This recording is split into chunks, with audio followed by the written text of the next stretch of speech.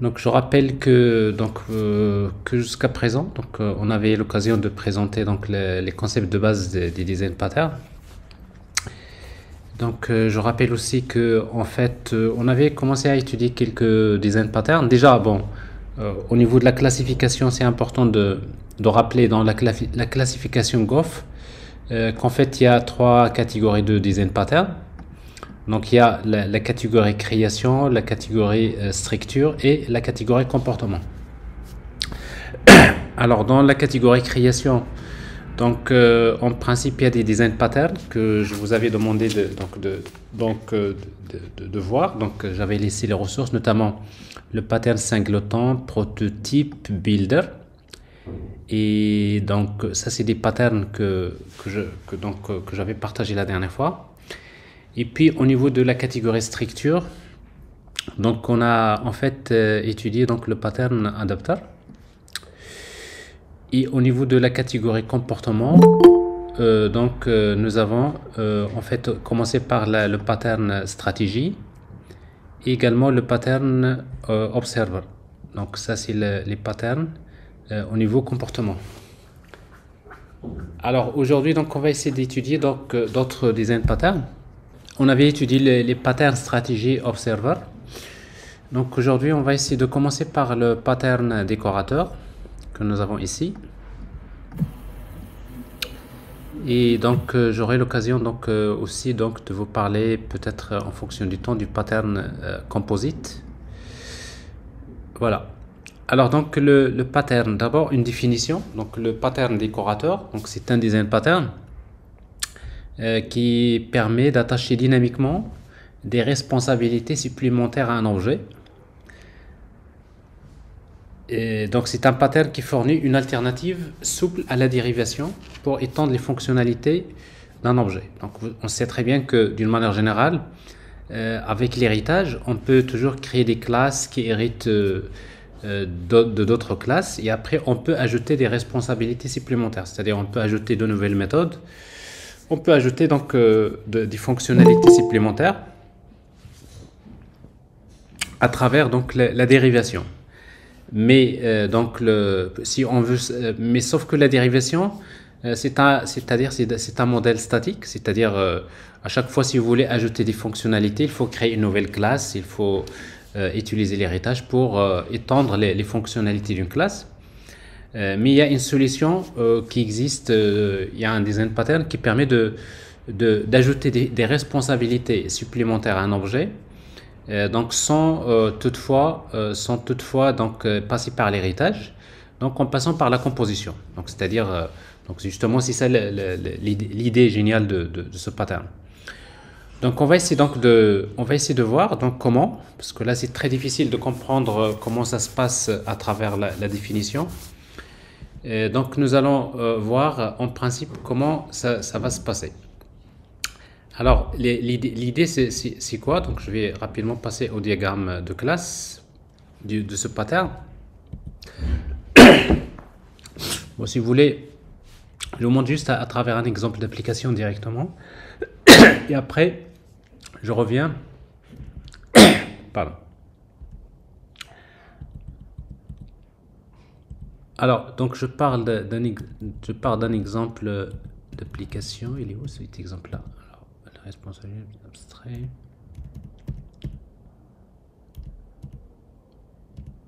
Voilà. Donc, euh, pour vous parler d'un exemple, donc, euh, supposons vous avez euh, Sta- Star, Star, Starbucks ou bien Starbucks Café.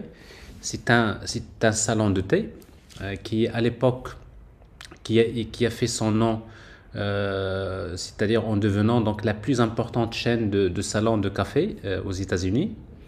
Donc, euh, au départ, quand ils ont créé, quand ils ont créé le modèle, donc ils ont créé quelque chose de plus simple, c'est-à-dire, euh, ben, ils ont tout simplement donc différentes boissons, c'est-à-dire que leur modèle de départ, c'était de, de, en fait, de, fournir ou bien de, de c'est-à-dire de servir les clients des différents types de boissons. Donc, euh, vous avez euh, Columbia, Sumatra, DK, Espresso, etc. Donc, au départ, le modèle qui a été créé, euh, c'est un modèle qui est, euh, qui est plutôt donc, euh, simple. donc, ils ont défini une classe abstraite qui s'appelle boisson, dans laquelle on définit donc une boisson par sa description. Et après, on va définir tout simplement deux méthodes. Il y a la méthode getDescription qui permet de, retourner la description de la boisson, c'est-à-dire le nom de la boisson si vous voulez. Et puis donc la méthode coup qui permet de retourner le coût de la boisson. Alors comme chaque boisson a besoin de redéfinir la méthode coût, donc on va définir une méthode coût abstraite dans la classe boisson et puis on va, on va la redéfinir dans les classes dérivées. C'est-à-dire vous avez Columbia, c'est une classe qui hérite de la classe boisson et après donc le voilà donc euh, on appelle la méthode coût euh, donc pour retourner le coût de, de, de, Columbia. La même chose quand je, crée un objet Sumatra, donc je peux appeler la méthode coût, ce qui permet de retourner le, le coût de la boisson. Alors, je vais d'abord m'arrêter sur ce modèle-là et après, on va essayer donc d'introduire le, le, pattern décorateur. Donc, euh, supposons que je suis dans cette situation, donc je vais créer un projet. Je vais créer un projet Java, comme d'habitude. Simple projet Java, par exemple, Maven. Alors, ça, c'est le pattern décorateur. Euh, Maven, créer. Alors, this window. OK. Alors, donc, euh, donc le, modèle de base, c'est celui-là. Donc, je vais supprimer ce package-là. La même chose ici. Je supprimer. Et puis, donc, je vais créer, euh, supposons, donc, je vais créer, donc, euh, voilà, je vais créer une classe abstraite que je vais appeler boisson. Alors, boisson. Alors, je vais la mettre dans un package que je vais appeler boisson tout court. Les produits, products, produits. Voilà. Donc, donc au départ, ce qu'on a fait, c'est qu'on a déclaré, on a utilisé donc euh, euh, en fait une classe abstraite boisson qui est définie par une description donc la description de la boisson, et puis euh, qui a avec deux méthodes. Il y a une méthode getDescription, c'est le, getter, et puis il y a une méthode coup. Alors la méthode coup, c'est une méthode abstraite qui permet de retourner le coût de, de la boisson. Une simple méthode abstraite. Donc ça c'est la classe de départ. Et puis on va créer différents types de boissons. donc nous avons ce matra, alors ce matra, c'est une classe qui hérite de la classe poisson. Alors on va redéfinir la méthode coût. On va supposer faire quelque chose de plus simple. Le coût de ce matra, donc euh, c'est 6, par exemple 5. Et donc, euh, et après, nous avons besoin du constructeur. Un constructeur par défaut. Et dans ce constructeur-là, au moment de la création de ce matra, je vais initialiser la description. Alors ici, donc la description, c'est un attribut privé. Je ne peux pas y accéder. Euh, je peux utiliser ici 10.description. Description égale par exemple Sumatra. Alors, comme vous le constatez, sauf que ici, donc, je n'ai pas le droit. Donc, la description, c'est un attribut qui est privé, donc je ne peux pas y accéder. Alors ici donc euh, je vais choisir la protection euh, plutôt protected. Alors protected ça veut dire que les classes dérivées ont, le, droit d'accéder euh, directement aux membres protégés. Donc vous voyez ici donc quand je crée une Sumatra je suppose que par défaut la description c'est Sumatra. Et puis donc le, coût ça, va retourner 6,5. Et après on va faire la même chose pour les autres. CTRL C, CTRL V. Donc j'ai ici Espresso. Donc espresso, euh, la même chose au moment de sa création, la description c'est espresso. Et puis nous avons le espresso par exemple ici 12,5. Alors la même chose pour d'autres boissons comme par exemple euh.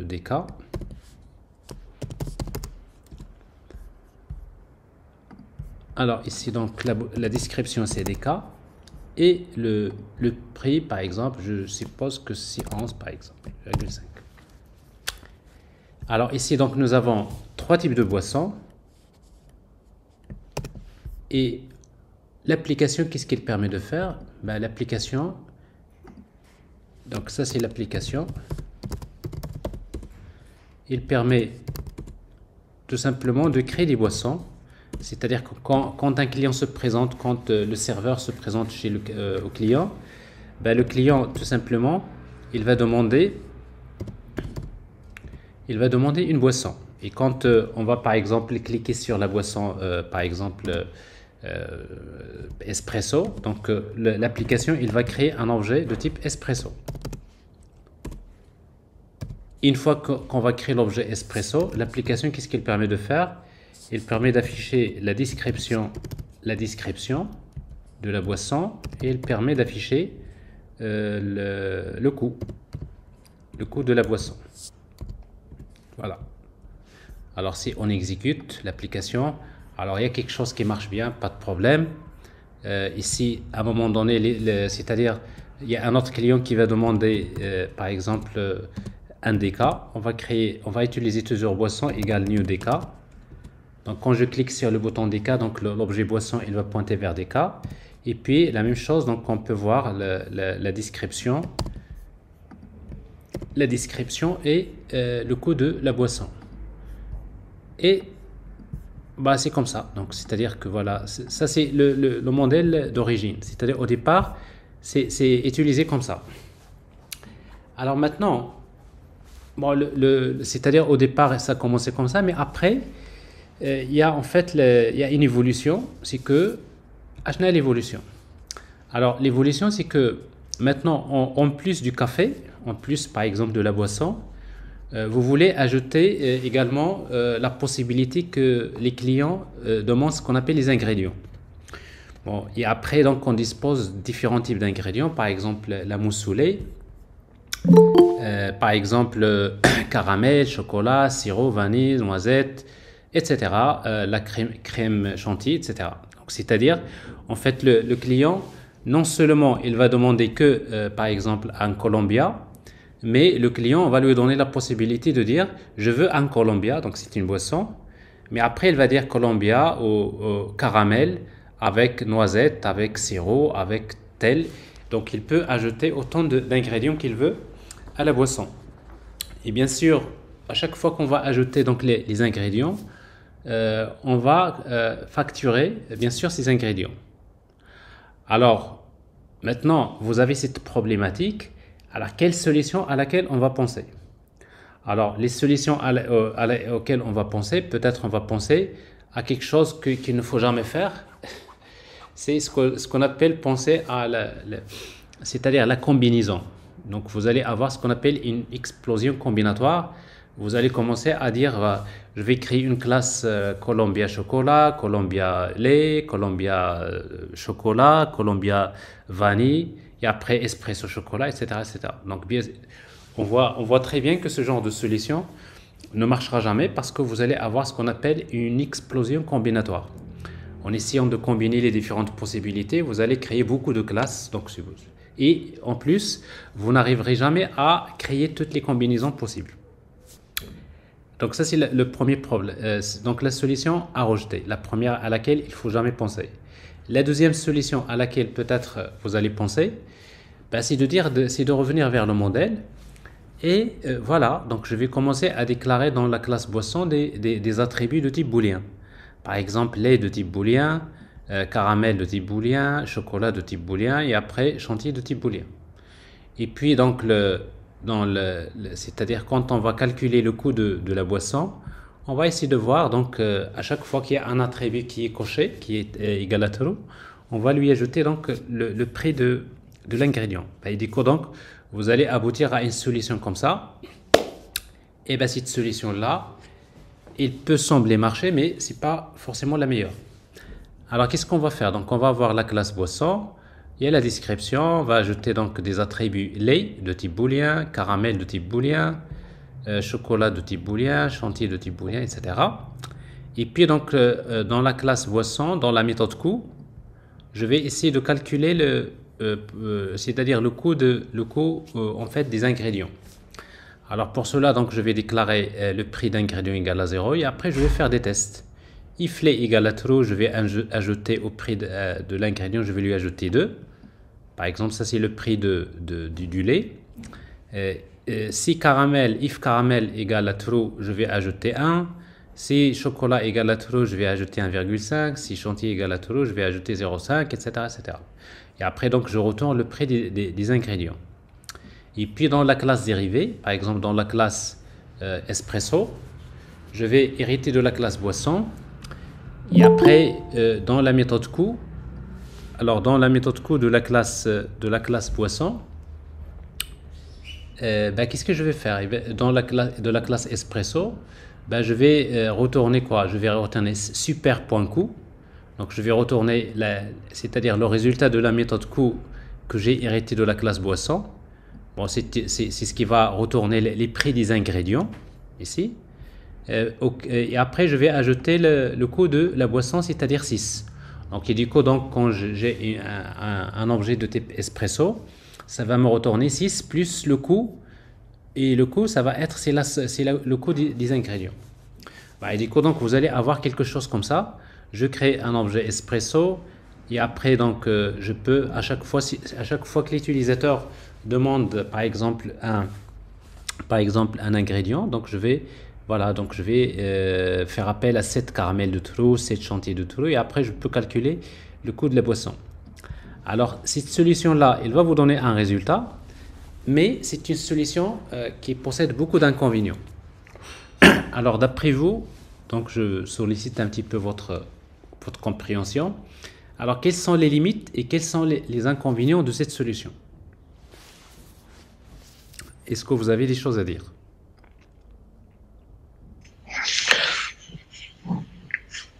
Oui si on veut changer par exemple la valeur de par exemple caramel, chocolat, etc. C'est-à-dire quelle valeur? De trop le, le bolet. Non, mais il n'y a pas de problème, je peux activer, désactiver, mais ça, c'est pas un problème.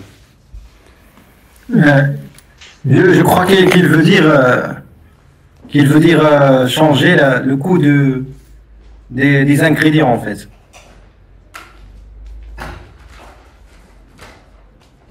N'est-ce pas, Mohamed? Oui, je dois charger juste. Allez-y, donc vous pouvez. Prenez la parole, donc vous pouvez faire vos remarques.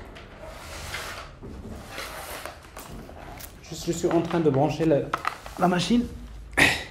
Juste à la réponse de, Mahmoud, je, crois est. L'intention, c'est euh, dire euh, changer le coût des ingrédients et pas activer, désactiver trop bien, Ça veut dire, par exemple, euh, alors, pour, le, lait, ça, devrait être 5. Oui, alors bon, ça c'est à la rigueur, euh, ça c'est une, un problème qui est dans le modèle. À part ça, parce qu'à la rigueur, le coût, on peut le chercher dans une base de données, il n'y a pas de problème.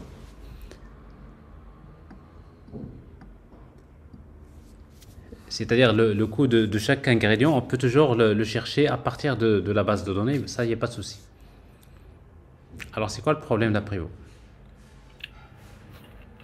En fait, c'est déjà écrit sur les commentaires, mais si on veut, par exemple, ajouter des autres ingrédients, ou bien, il faut toujours ajouter des, cas sur, sur, sur la fonction.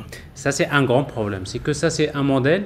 À chaque fois qu'il y a un, nouveau type d'ingrédient, il faut ouvrir le code source, il faut ajouter un attribut, il faut modifier euh, cette méthode-là.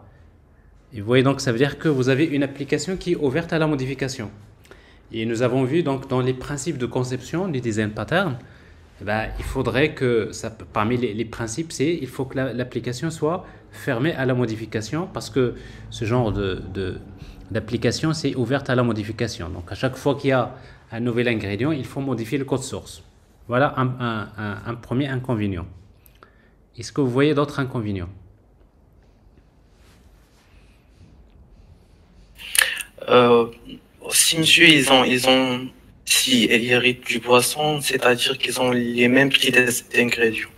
Ça, c'est également un, autre problème, c'est-à-dire que le fait, euh, la classe espresso hérite de la classe boisson, bah, il, il va hériter tout le, tous les ingrédients, tous les attributs. Il se trouve que parfois, il y a, il y a des boissons euh, qui n'ont pas euh, qu'on peut, euh, c'est-à-dire qu'il y a des ingrédients qu'on ne peut pas utiliser avec des sortes de boissons. Alors par exemple, vous dites espresso avec chantilly, ça n'a pas de, ça, n'a pas d'intérêt. Donc c'est-à-dire, euh, c'est comme si on est en train de, de c'est-à-dire d'associer des, des, des, propriétés inappropriées à, à, à un objet. C'est-à-dire, c'est comme si vous héritez des attributs, mais réellement, vous n'aurez jamais besoin de ces attributs-là pour ce, type d'objet. Bon, ça, c'est également un problème. Ne match plus. Comment? Ne match plus ces ingrédients. C'est ça. C'est-à-dire, on, c'est ce qu'on dit exactement, c'est que c'est affecter des, des, des, des, caractéristiques inappropriées. C'est affecter des, des propriétés inappropriées à un objet. Donc, euh, vous avez une classe qui hérite des choses dont il n'a pas besoin. Alors, quel, quel est l'autre problème que vous pouvez citer? Un autre problème, monsieur? Oui. La redéfinition de la méthode count n'a pas vraiment de sens parce que la classe est déjà publique. La, la redéfinition de la méthode coup Oui. Non, ici, il, il, a un sens parce que euh, ici, donc, le coût, le coût de, de, de chaque boisson euh, change. C'est-à-dire, ce, n'est pas le même, euh, la même, c'est-à-dire que l'implémentation, il n'est pas la même. À la rigueur, ça a pas de problème. On hérite la méthode coût, bah, même s'il est public, donc la redéfinition, il n'y a pas de problème. Parce qu'en fait, quand on, redéfinit, c'est pour définir une nouvelle version. Parce qu'en fait, je peux, donc ici, le coût, il va dépendre de, il va dépendre des règles métiers, par exemple, de, de calcul du coût de, de, de, l'espresso, par exemple. D'accord. What, what else?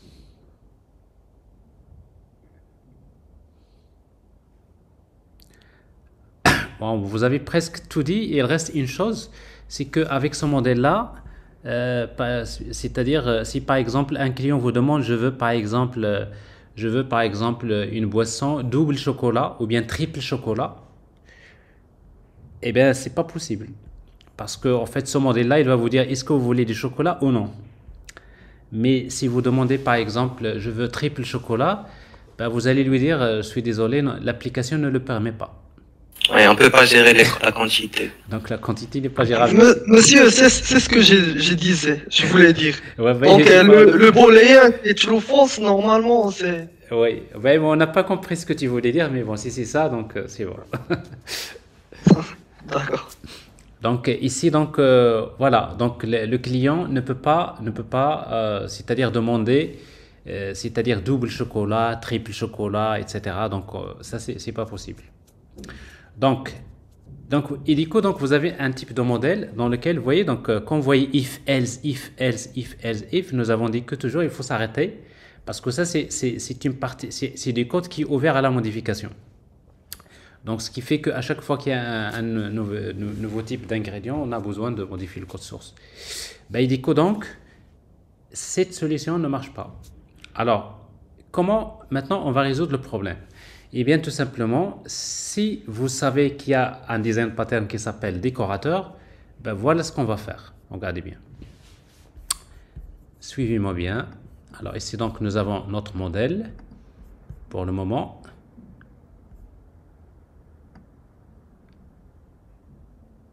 comme ça.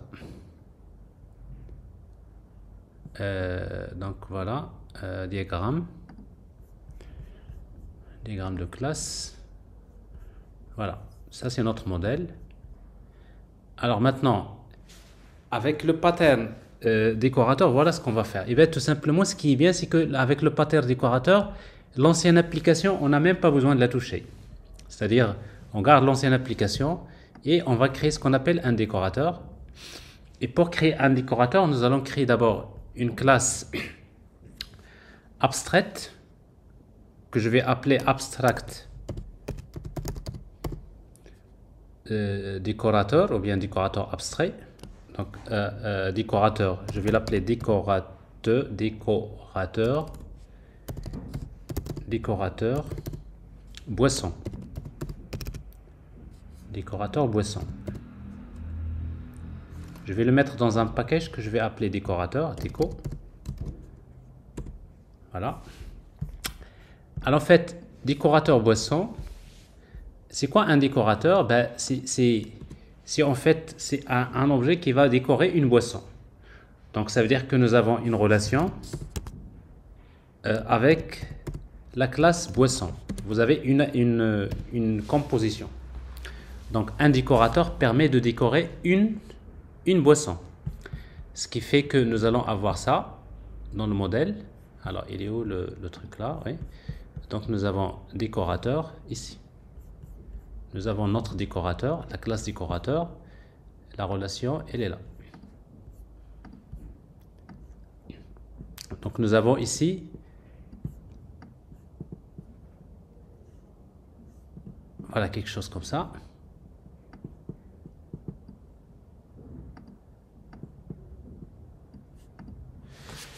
Donc un décorateur permet de décorer une boisson. Alors, ici, dans notre décorateur, nous allons ajouter un constructeur avec paramètres pour avoir une, une, agrégation.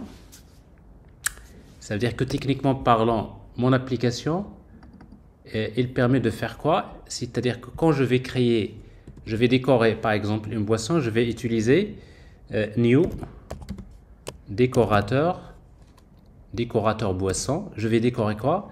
Ben, Je vais décorer un objet de type boisson. Donc un décorateur permet de décorer une boisson. Alors, maintenant, ce décorateur-là, alors en fait le décorateur, donc, il permet de, décorer, de décorer une boisson, mais en même temps, euh, un décorateur permet de décorer également un autre décorateur. C'est-à-dire quoi? C'est-à-dire qu'un décorateur permet de décorer une boisson, mais également il permet de décorer un décorateur. Ça veut dire quoi tout simplement? Ça veut dire qu'un décorateur permet de décorer un décorateur, décore un décorateur qui décore une boisson. Alors si vous voulez que le décorateur puisse décorer également des décorateurs, alors nous avons besoin de quoi? Ben, Il faudrait que la classe décorateur, euh, la classe décorateur devrait hériter de la classe boisson. C'est-à-dire nous allons avoir ça, le pattern décorateur. C'est une classe qui va, euh, décorer une boisson, mais en même temps, le, le décorateur lui-même, il est de type boisson. Alors comme il est de type boisson, Ok Alors, comme il est de type boisson, bah, dans la classe boisson, nous avons une méthode qui est euh, abstraite, d'accord Qui est le coût de, la boisson, qu'il faut redéfinir. Alors maintenant, pour le moment, je ne vais pas redéfinir le, coût de, la boisson. Je vais déclarer cette classe abstraite. Alors, je vais la déclarer abstraite. Pourquoi? Tout simplement parce que il existe différents types de décorateurs. Alors maintenant, quels sont les décorateurs dont je dispose? Pour moi, les décorateurs, c'est quoi? C'est le lait, euh, chocolat, euh, chantilly, etc. Donc maintenant, je vais créer les classes lait. Par exemple, on suppose que le lait, c'est un, un, un ingrédient. Donc lait, c'est une classe qui hérite de la classe décorateur. Boisson, alors bien sûr, quand on, hérite de la classe décorateur, ça veut dire on a besoin de redéfinir la méthode coût et nous avons besoin de, du constructeur avec paramètres. Donc, les, il hérite de décorateur boisson et après il a un coût. C'est-à-dire ici maintenant, euh, maintenant quand j'appelle le coût du lait, alors quand j'appelle le code du lait, alors le code du lait, il va permettre de retourner quoi? Il va, euh, il va retourner le coût du lait, qui est 2, plus, donc à quoi est égal le coût C'est le coût du lait plus le coût de la boisson. Alors maintenant, le coût de la boisson, ben, j'ai ici donc un attribut, j'ai un attribut ici, boisson, qui est privé. Je ne peux pas y accéder parce qu'il est privé. Maintenant, je vais le déclarer protected. Et donc ici, donc, je vais avoir ces boissons coup. Et ça, c'est l'astuce du pattern décorateur. C'est-à-dire quand, quand j'appelle quand j'appelle le coût le coût de le de, de lait, alors le coût du lait, qu'est-ce qu'il va retourner? Il va retourner le, le, prix du lait plus le prix de la boisson qu'il va décorer. Alors, c'est-à-dire que si je teste ça, qu'est-ce que je vais avoir ici? J'ai déjà, par exemple, boisson DK. Bah, qu'est-ce que je vais faire? Donc, je peux utiliser ici boisson. Donc, vous voyez, donc, notre objet boisson, il représente un objet de type DK. Maintenant, je peux lui dire à quoi est égal boisson? Boisson égale new lait. De quoi de boisson? Alors, regardez bien. Alors, maintenant, boisson, il représente quoi? Il représente un objet de type de type lait. Et cet objet de type lait, qu'est-ce que je vais lui donner comme qu'est-ce que le lait il va décorer quoi? Il va décorer l'objet boisson qui est euh, au départ c'est des cas. Si vous vous affichez boisson point ici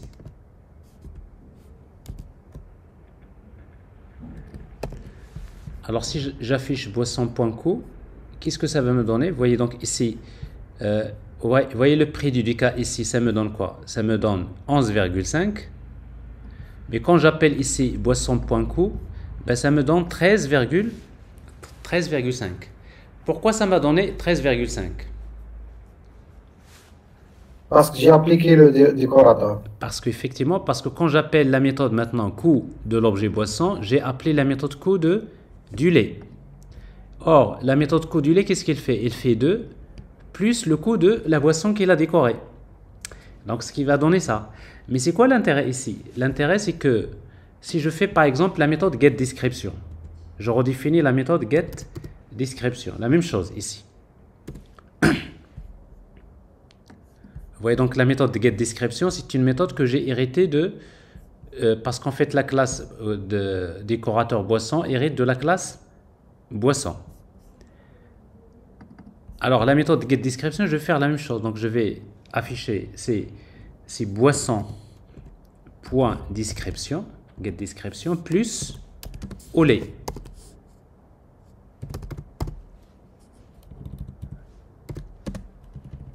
Donc la description, c'est la description de la boisson plus au lait.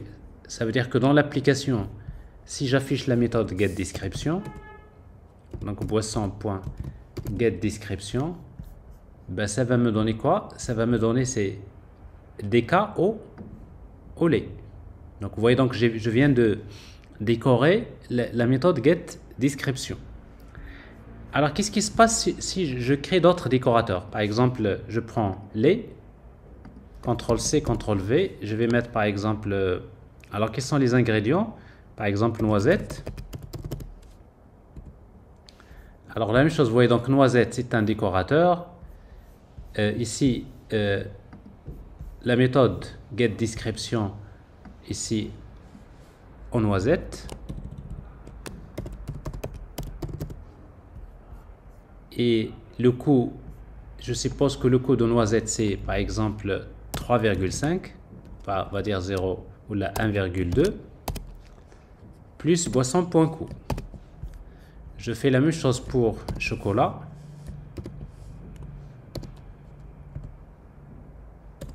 Chocolat.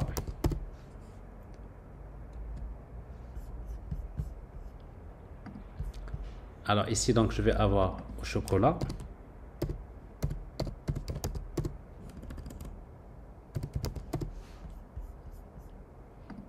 Au chocolat. Et je vois ici le chocolat par exemple 1,6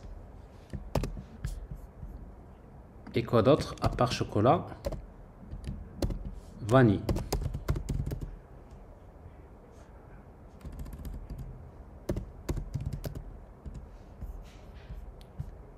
Alors la même chose ici donc j'ai vanille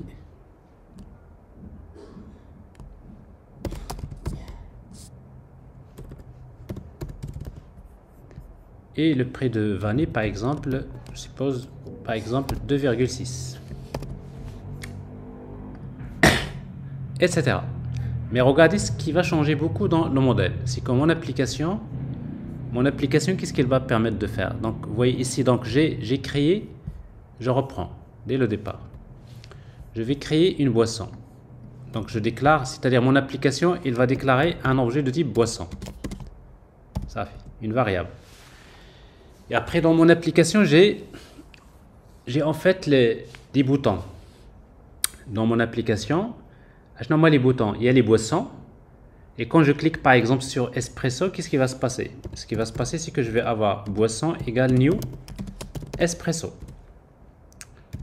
Une fois que je fais new espresso, l'application, qu'est-ce qu'il va afficher? Il va afficher boisson.get description et il va afficher également boisson.coût. Parce qu'il va donner au départ quelque chose de... Voilà, espresso c'est 12,5. Mais après le client, il va vous dire, je veux espresso au chocolat. Donc ce cas-là, quand, quand euh, mon objet, en fait la variable boisson, ben, c'est une variable qui pointe vers, euh, qui pointe vers l'objet. Regardez ici, alors j'ai l'explication. Voilà. Bon, je vais, je vais dire Sumatra ici. Sumatra. Sumatra. Alors j'ai Sumatra au départ. C'est-à-dire, qu'est-ce que je vais avoir ici? J'ai euh, la variable boisson qui va pointer vers l'objet Sumatra. Alors maintenant, le client veut ajouter du chocolat. Et eh bien, si le client veut ajouter du chocolat, je vais utiliser quoi? À quoi est égale la boisson? À nouveau B1, c'est-à-dire la variable B1, égale à quoi? New chocolat. New chocolat. Et qu'est-ce qu'on va lui donner comme, euh, comme objet? Qu'est-ce qu'on va décorer? B1. B1, normalement, ça représente l'objet Sumatra. Et dans ce cas-là, qu'est-ce que je vais avoir? Je vais avoir la variable B1, boisson. Il va pointer vers l'objet chocolat. Vous voyez donc ici B1 égale new chocolat. Et après, l'objet chocolat, il possède un attribut qui est boisson, qui va pointer vers Sumatra. Parce que ici, donc, chocolat, qu'est-ce qu'on lui transmet comme paramètre? L'objet Sumatra. C'est-à-dire, vous avez B1 qui va pointer vers chocolat et chocolat va pointer vers Sumatra. Maintenant, si j'appelle ça, si je fais ça, c'est-à-dire, je vais utiliser boisson égale new chocolat de boisson. Alors, si euh, j'affiche euh, à nouveau donc la, la boisson.getDescription et j'affiche la boisson coût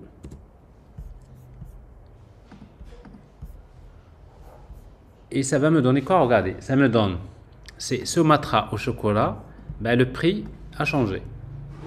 En fait qu'est-ce qui s'est passé? C'est que quand j'appelle quand j'appelle la méthode coût, voyez, quand j'appelle la méthode coût de, l'objet B1, en fait, la méthode coût de chocolat, qu'est-ce qu'elle fait?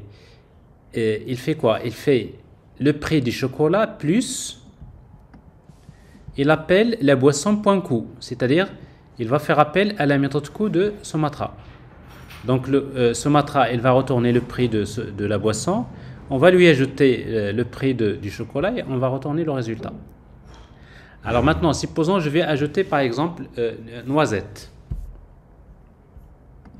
chantilly.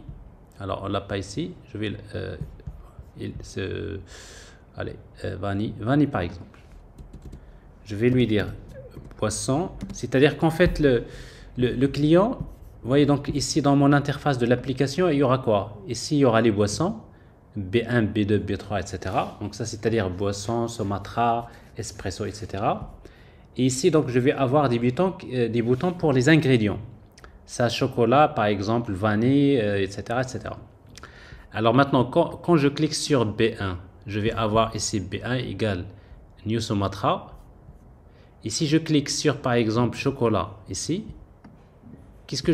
l'application, qu'est-ce qu'elle va faire? Elle va faire tout simplement B1 égale New Chocolat de B1. et eh bien, je vais avoir cette situation-là. Et mon application, il va m'afficher ce matra au, au chocolat.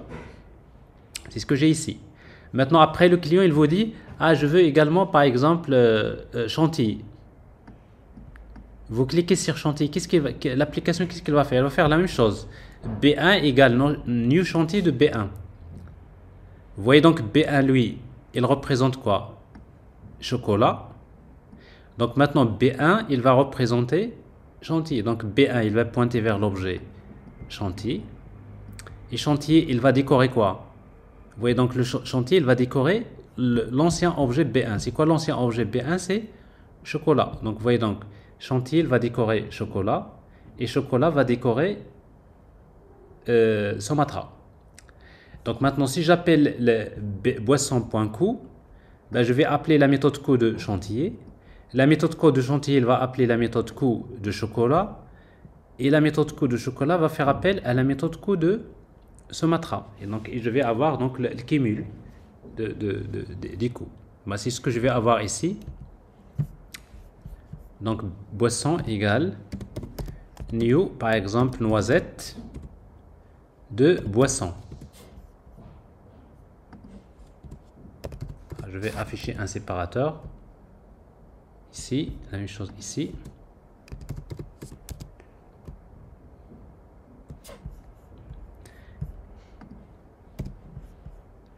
Et j'affiche la description et le coût.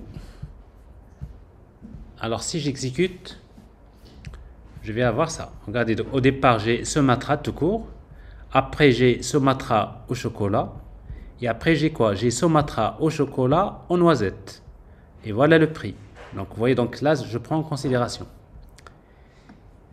Alors ce qui est bien, c'est qu'ici, il n'y a pas de limite. Et après, le, maintenant, si le, client, il vous demande, je veux deux boules de chocolat, je vais encore écrire boisson égale new chocolat de boisson.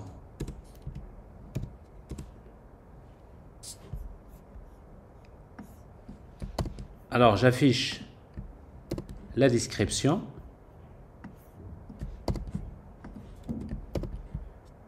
Et le coût. Alors, qu'est-ce que je vais avoir? Vous voyez ici, donc j'ai quoi? J'ai Sumatra au chocolat, au noisette, au chocolat. Et après, il vous dit encore, je veux triple chocolat. Bah, on va reprendre.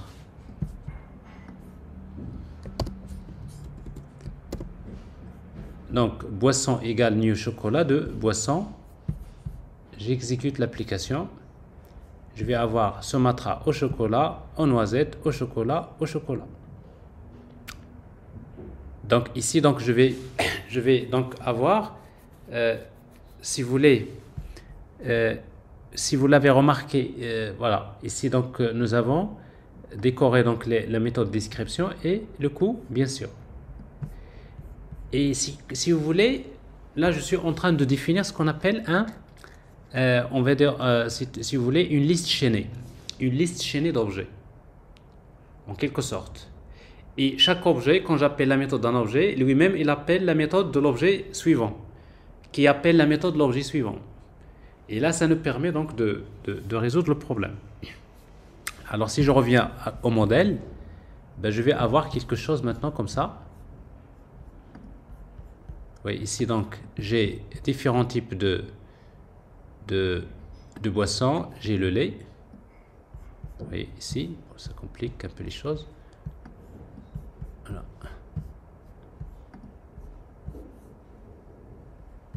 Donc j'ai le lait. Alors pourquoi j'ai ici boisson Oui. Alors là, on n'a pas besoin de mettre ça. C'est la même chose. Alors ici. Donc déjà, on voit le, Alors je supprime ça.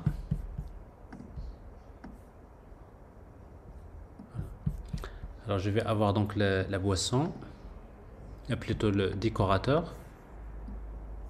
Alors déjà, remarquez une chose qui est très importante, c'est que le décorateur, c'est une classe qui va utiliser l'héritage et la composition.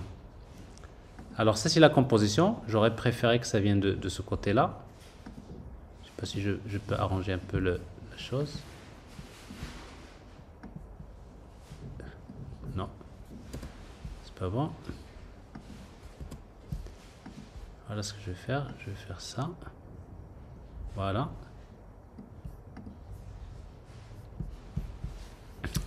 Et les, donc le voilà l'héritage. Donc cette classe là hérite de la classe poisson. Je vais la supprimer. Je vais la mettre encore ici.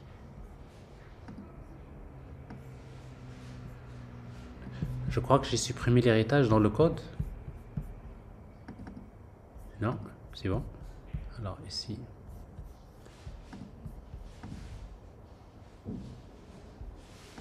Donc ça c'est la composition et l'héritage. Alors il est où l'héritage là?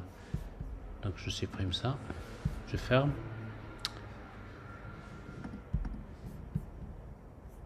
Je régénère le modèle diagramme de classe. Voilà. Alors, qu'est-ce que j'ai ici? Donc, j'ai la classe boisson. OK? Alors, la classe boisson. Alors, ça, c'est les, décorateurs. Ici. Ça, c'est le, décorateur. Donc, vous voyez, donc le décorateur, Ici, il y a une relation également que je dois présenter. Alors, sauf que ces relations-là, c'est des dépendances, donc je vais les supprimer.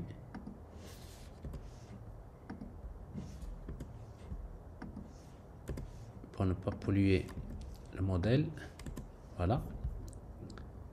La même chose ici. Bon, l'application, je vais la supprimer, j'ai pas besoin. Voilà. Alors, qu'est-ce que j'ai ici?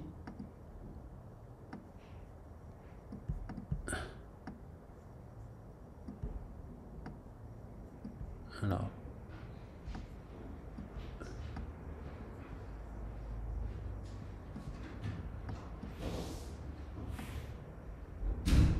Ah bah, je vais déplacer ça, mais je sais pas comment le faire.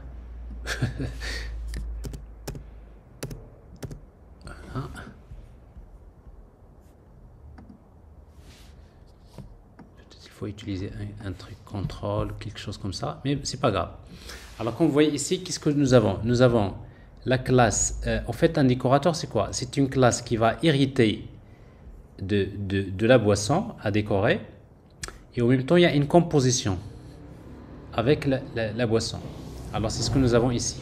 Donc, nous avons l'héritage, extend, et nous avons une composition. Autrement dit, donc, nous avons ce modèle comme ça. Ici. Donc nous avons euh, différents types de boissons. Nous avons donc le décorateur, hérite. Donc il y a l'héritage ici. Et en même temps, nous avons une composition comme ça. Alors ça veut dire quoi ça? Ça veut dire qu'un décorateur, un décorateur permet de décorer, décorer, ça c'est une relation. Un décorateur, il est fait pour décorer une boisson. Mais une boisson peut être soit une boisson, comme ça peut être également un décorateur. Donc c'est pour cela que le décorateur lui-même, il hérite de la classe boisson. Ça, permet de quoi? Ça permet euh, de d'avoir ça. Le décorateur permet de décorer une boisson qui peut être également un décorateur. Ça veut dire quoi? Un décorateur peut décorer un décorateur qui décore un décorateur qui décore un... Vous voyez donc ici, vous pouvez aller autant de fois. Un décorateur permet de décorer un décorateur qui décore un décorateur qui décore un décorateur qui décore à la fin une, une boisson. C'est ce que nous avons ici.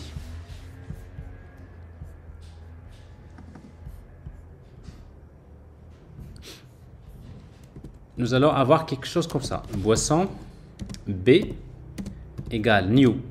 Regardez bien new, je veux je vais créer un, je vais décorer new chocolat de new chocolat de new chocolat de new.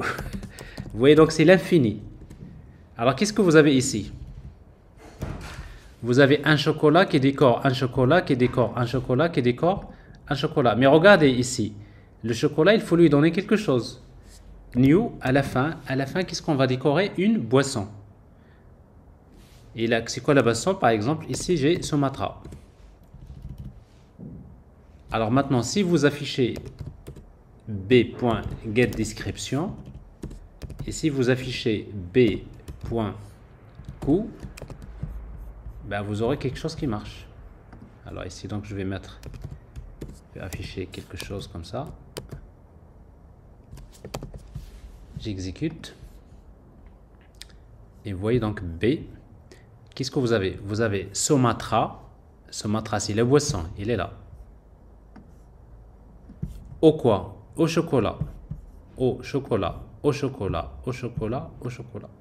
Donc, c'est-à-dire, vous avez quoi? Vous allez ici comptabiliser 4, 4, 4 doses de, chocolat. Et après, vous voulez ajouter encore quelque chose ici. Vous dites, new, par exemple, noisette. Donc ici, donc au chocolat, aux noisettes, au chocolat, au chocolat. ici, donc le premier, est, au lieu de au chocolat, ici, donc je vais utiliser le vanille.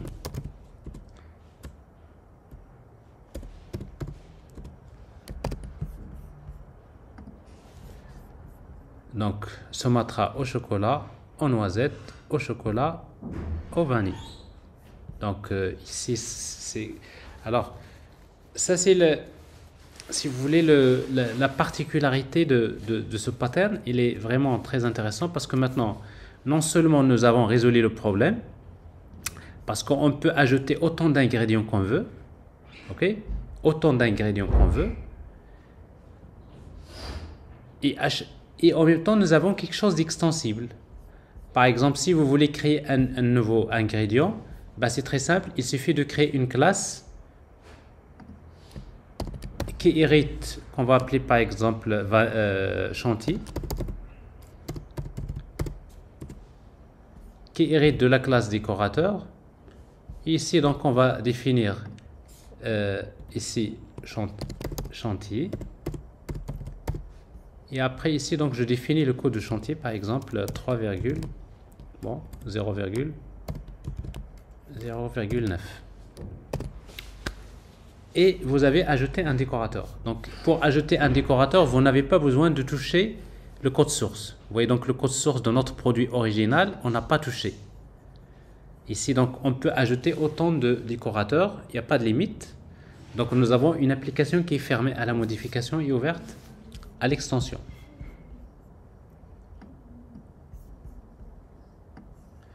Est-ce que est-ce que c'est clair?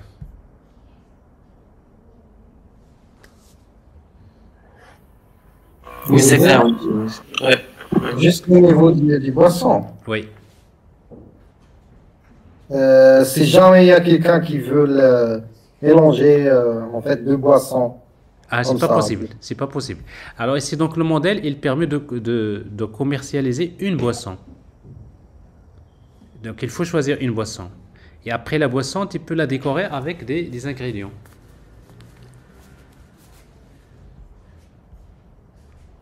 Alors maintenant, si tu veux donner la possibilité de, décorer, d'avoir de, boissons, eh ben ça c'est autre chose. Il faut appliquer un autre, une autre technique, un autre design pattern. Sinon, monsieur, on, donne des, euh, un boisson par défaut, et ces boissons, on le met euh, sous forme d'un décorateur. Non, mais on l'a pris comme décorateur, tu vois à, la base, on n'a pas de, boisson. Juste Alors justement, est-ce qu'on peut euh, commercialiser un décorateur, plutôt un, décorateur tout seul? Non. Est-ce qu'on peut, par exemple, euh, bon, un client, est-ce qu'il va venir te demander je veux que du chocolat? Non. Le chocolat, c'est un ingrédient. On va utiliser new chocolat. De quoi? Il faut d'abord choisir la, boisson et après, on va choisir les décorateurs. Oui, en fait, il y a la boisson qui est vide, en fait et de, du contenu, par exemple. Mais qu'est-ce que tu veux faire au juste? Je peux mélanger les, boissons entre eux, par exemple, Colombia et Sumatra. Bah, Colombia et Sumatra, bah, je ne sais pas s'il y a une. Euh, bah, tu achètes deux boissons. Ah, ok, donc. C'est-à-dire tu, tu vas acheter dans ce cas-là deux boissons. Et après chaque boisson, tu peux choisir. Et après, chez toi, bah, chez toi, tu mélanges ce que tu veux. Si tu veux aller à l'hôpital, euh,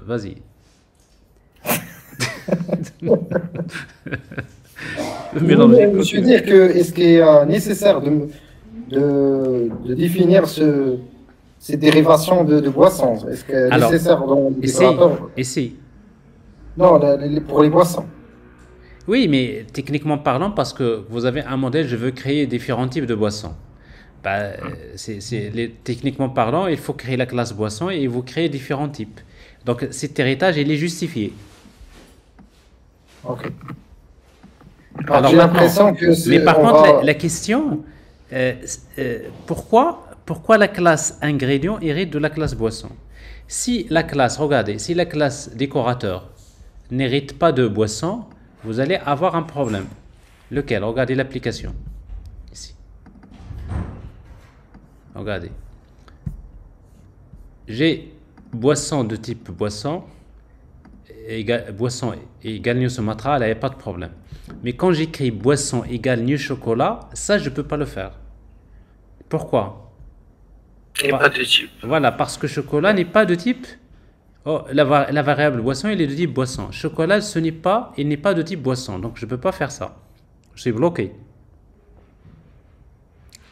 Donc, c'est-à-dire que si, si, tu veux, si on veut que euh, une, un décorateur, si, si, vous voulez qu'un décorateur permet de décorer un autre décorateur, parce que la réalité, c'est ça. Au départ, vous choisissez la boisson, elle est là, la boisson. Et après, vous dites, je vais la décorer avec du chocolat. Ensuite, je vais la décorer avec la crème chantilly. Pas avant la crème chantilly, parce que la crème chantilly, c'est le dernier. Après, noisette. Après, je vais la décorer avec euh, vanille.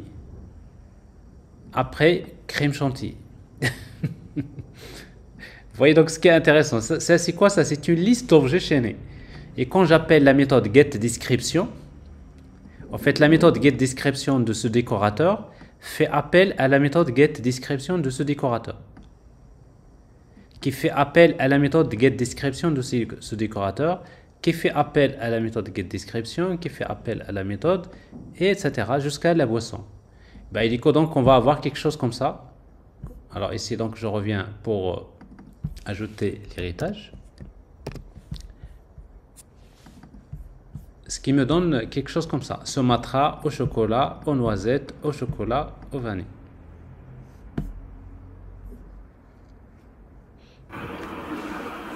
Monsieur Oui. Euh, je pense l'API de Java Input Output euh, développé par. Exactement, ça c'est un, bon exemple. Euh, donc le, pattern décorateur, c'est un pattern qui est utilisé dans les entrées-sorties. Par exemple, si, si vous voulez, je ne sais pas, vous voulez compresser un, fichier.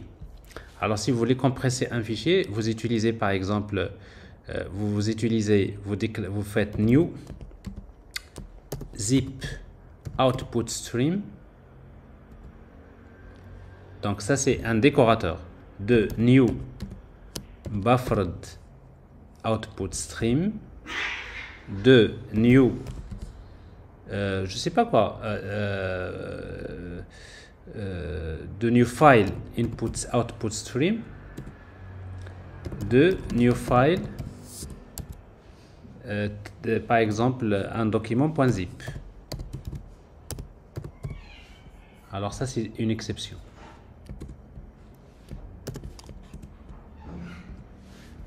voyez Alors ici, donc tout ça, je vais l'appeler euh, output, output stream, OS.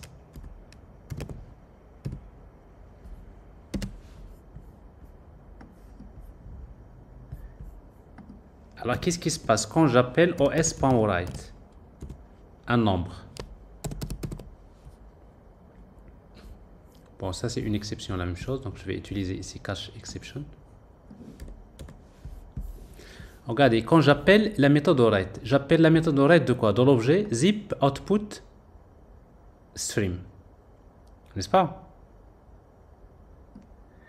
Lui-même qui fait appel à la méthode write de buffered output stream qui fait appel à la méthode write de file output stream qui va écrire sur un fichier point, point .zip. Donc euh, ça, c'est un bon exemple.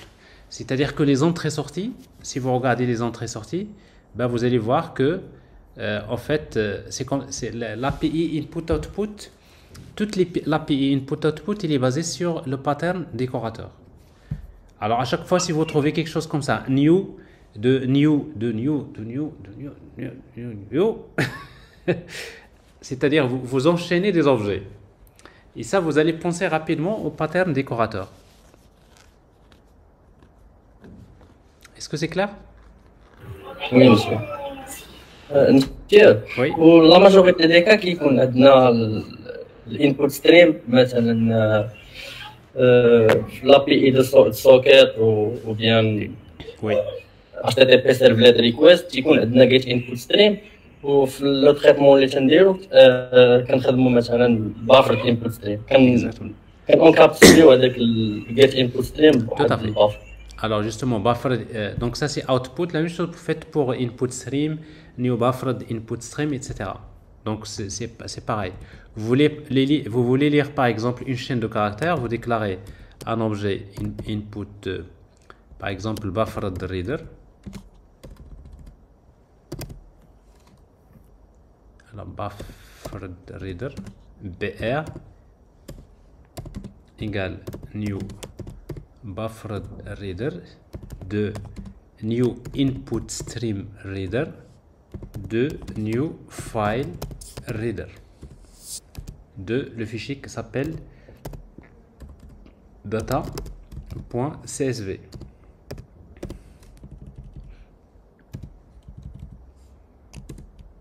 Alors ici, il faut mettre file, new file ici. New file data.csv. Input, file input stream. Parce que ici, donc, euh, je vais utiliser reader directement. Input. Euh, file euh, plutôt new input oui, input stream là c'est file input stream etc new file de ça. Alors maintenant si vous mettez si vous faites string string euh, str égale br.readline donc vous lisez une ligne à partir de ce fichier là mais en réalité, quand vous appelez br.readline, qu'est-ce qui va se passer? C'est que vous avez file, euh, donc buffered reader va demander à input stream reader de lire un, caractère. Ok? Ici, à partir du fichier, on va lire un caractère. Et, après, buffered reader, il reçoit le premier caractère, le deuxième, le troisième, le quatrième, etc. Et à la fin, quand il arrive au caractère de fin de ligne, il va vous retourner une chaîne une chaîne de caractères. Bon, ça, ça, c'est derrière, derrière ça, l'API input-output, il y a le pattern décorateur. Effectivement. Donc ça, c'est un bon exemple. Est-ce que c'est clair? D'autres questions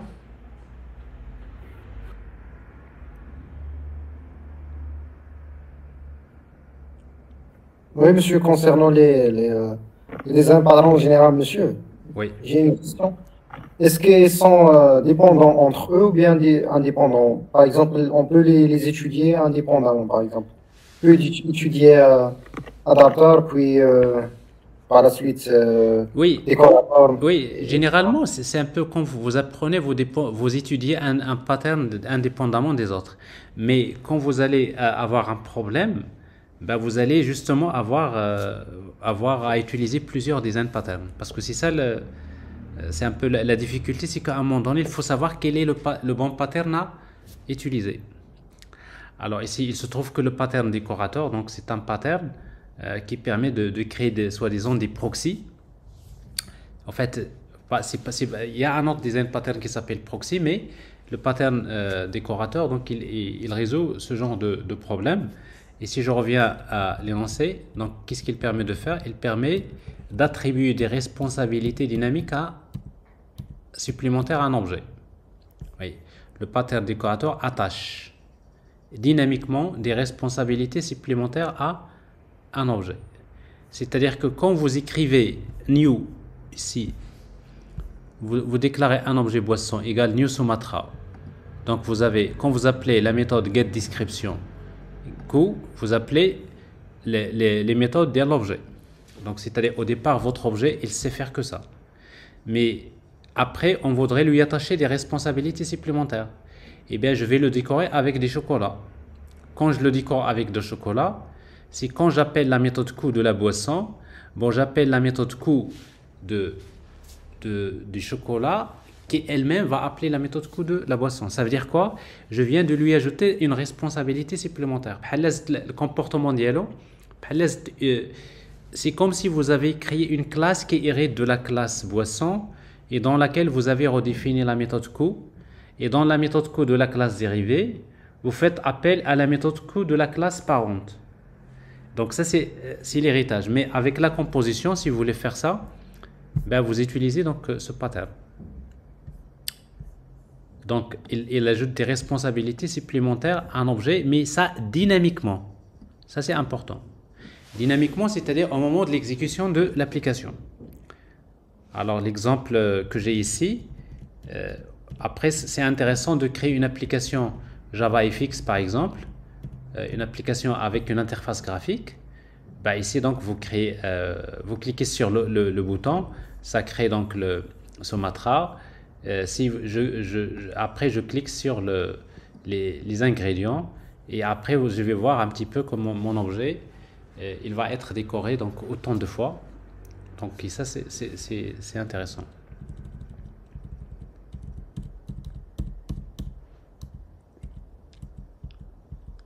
C'est clair? Messieurs Oui, c'est clair pour moi, monsieur. Merci. Alors pour les autres, si, c'est clair, vous faites un, petit OK euh, juste pour voir un peu.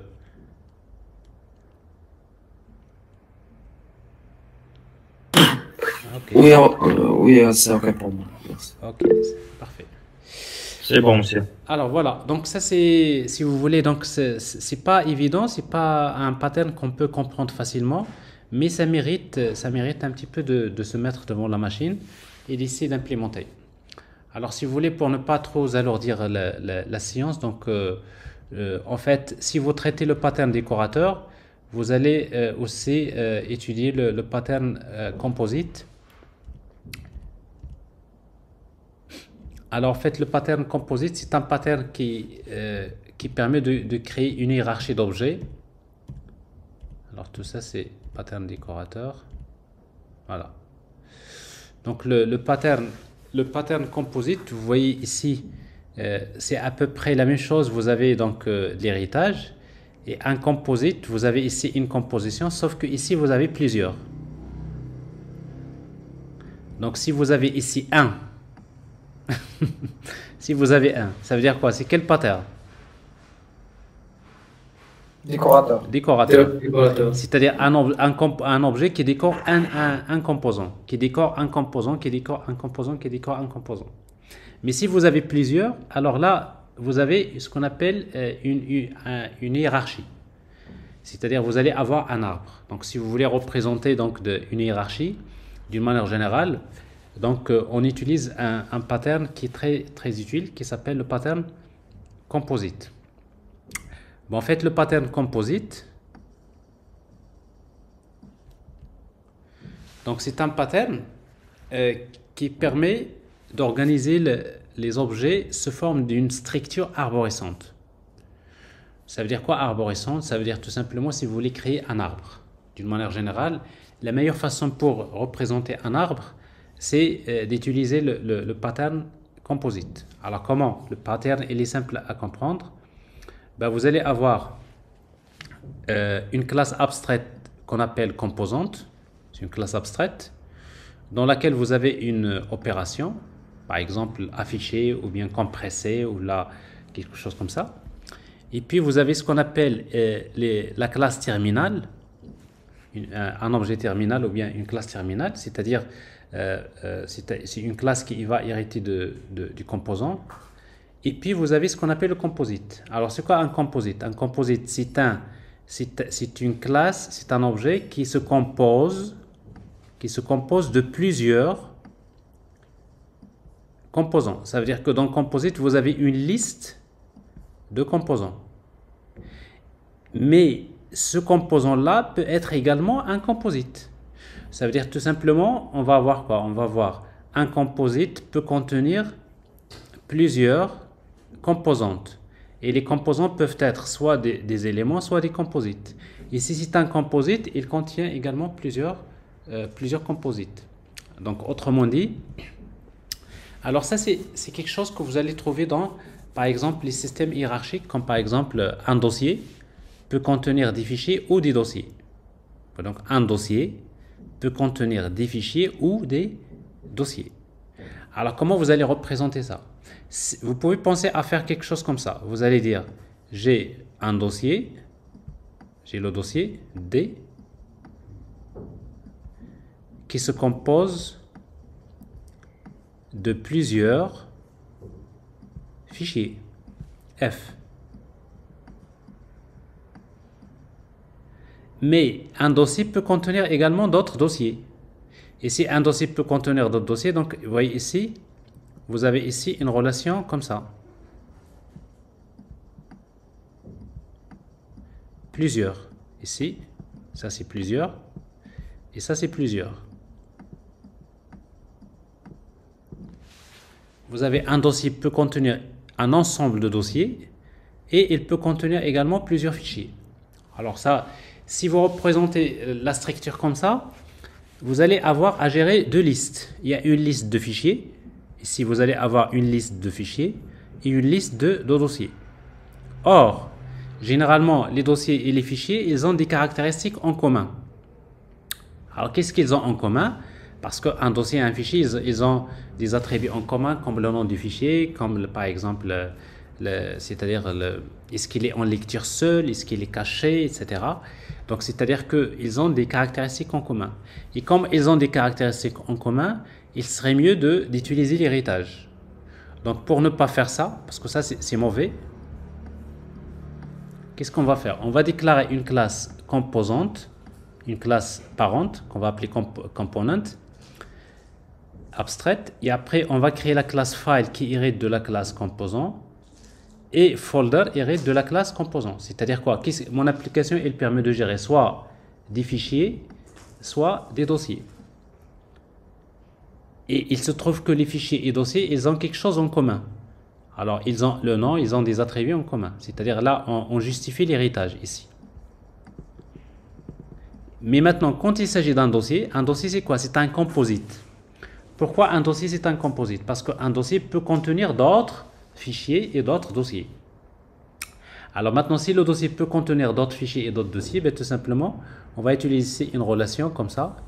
C'est un, un, dossier peut contenir plusieurs, plusieurs composants. Et un composant peut être soit un fichier, soit un dossier. Ça veut dire qu'un dossier, il peut contenir quoi? Plusieurs. Il peut contenir soit des fichiers, soit des dossiers. Et là, si vous travaillez comme ça, c'est ici vous avez appliqué le pattern composite. Mais la même chose ici. Par exemple, les menus. Alors quand vous créez des menus, vous savez dans un menu, vous allez trouver un menu qui contient des sous-menus, qui contient des sous-menus, etc. Et après, jusqu'à ce que vous allez arriver vers ce qu'on appelle euh, menu item. Alors, et du coup, donc, quand vous avez ça, ben, vous allez euh, créer un élément, une classe abstraite, euh, parent, c'est element, un élément peut être soit menu item, c'est-à-dire euh, euh, l'élément de menu qui contient une commande si vous voulez. Et puis vous avez un menu. Et un menu peut contenir quoi? Plusieurs éléments.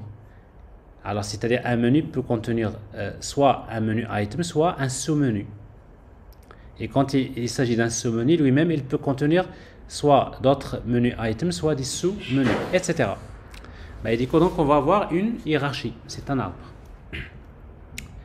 On va retrouver ça également euh, euh, quand vous représentez un document HTML ou bien, euh, ou bien par exemple un document XML. Vous savez que par exemple, un document HTML, il contient plusieurs éléments. Chaque élément est défini par des attributs. Mais un élément peut contenir d'autres éléments HTML. C'est-à-dire une balise peut contenir d'autres balises. Ben, du coup, donc, qu'est-ce qu'on va avoir? On va avoir une classe abstraite qu'on va appeler abstract HTML element, dans laquelle euh, on va dériver euh, un attribut ou bien un élément. Donc, l'attribut, c'est un élément terminal, mais un, élément HTML, c'est un composite. Pourquoi? Parce qu'un élément peut contenir d'autres éléments qui peuvent être soit des attributs, soit des éléments. Alors c'est quelque chose qu'on peut également avoir dans euh, quand on, veut, crée par exemple, on dessine. Vous avez vous dessinez un cercle, vous dessinez un, plutôt un, rectangle, un cercle. Vous voyez donc ici, on peut définir ce qu'on appelle une classe abstraite type, c'est la forme. Et après qui peut être rectangle, cercle, ligne, etc. Mais à partir, après parfois qu'est-ce que vous faites? Vous prenez, vous sélectionnez ça et ça et vous faites groupe vous groupez. Vous créez un groupe. Alors quand vous groupez des éléments, ben, un groupe, qu'est-ce qu'il contient? Il contient des, euh, des, figures, des formes. Et après, vous prenez ce groupe-là, ce groupe, avec cette ligne, avec ce cercle-là encore, et vous créez un autre groupe.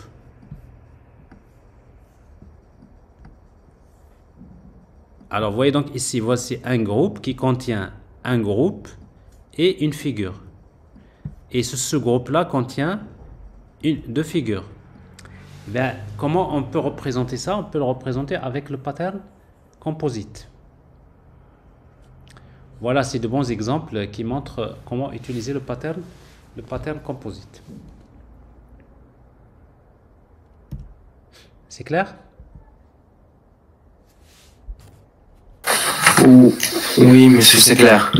Alors ça, c'est pour le, pattern composite. Si vous voulez, on va faire une petite implémentation rapide et on va s'arrêter à ce niveau-là. Alors, pour le pattern composite, voilà ce qu'on va faire. On va prendre le cas, par exemple, des fichiers et des dossiers.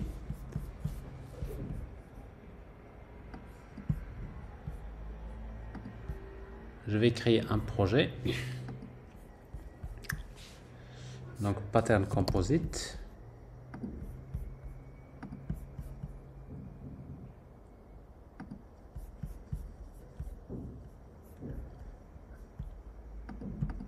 Alors je supprime ça. Je supprime ça.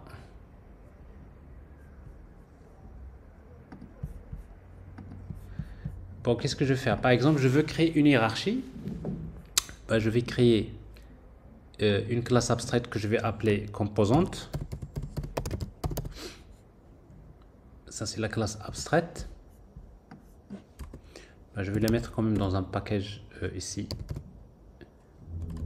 Euh, file system par exemple, fs. Je vais créer le package.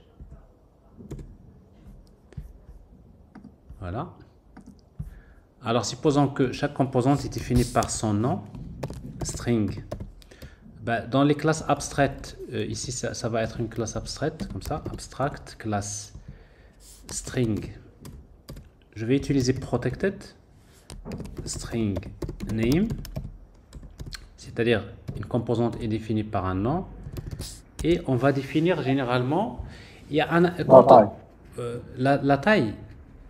Oui, on peut définir d'autres attributs, mais il y a un attribut généralement qui est très utile dans le pattern composite, c'est euh, c'est le niveau de la hiérarchie, level. Par exemple, le niveau.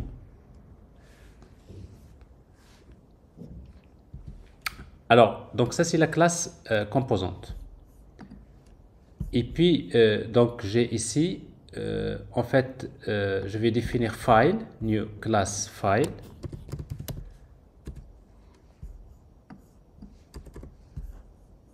Extend, extend composante.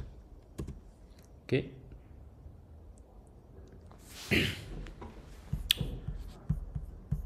Alors, extend composante. Et puis, je vais définir ici dans la classe composante, on va définir une méthode abstraite.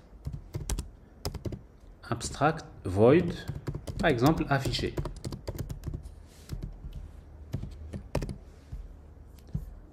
Alors bien sûr, la classe file va hériter euh, de la classe composante une méthode abstraite qu'il faut redéfinir. Ici donc, on va afficher tout simplement ici file. Par exemple, le fichier s'appelle name nom du fichier. Ok. Alors sauf que généralement, euh, euh, ici quand on affiche, bon, je laisse pour le moment ça et après on va essayer donc de voir euh, comment on va gérer le niveau. Et après, il y a le dossier. La classe folder. Alors, la classe folder, c'est quoi? C'est une composante. OK Et en même temps, on va redéfinir la méthode affichée. Alors, sauf que c'est une composante et un folder contient plusieurs. Vous voyez ici,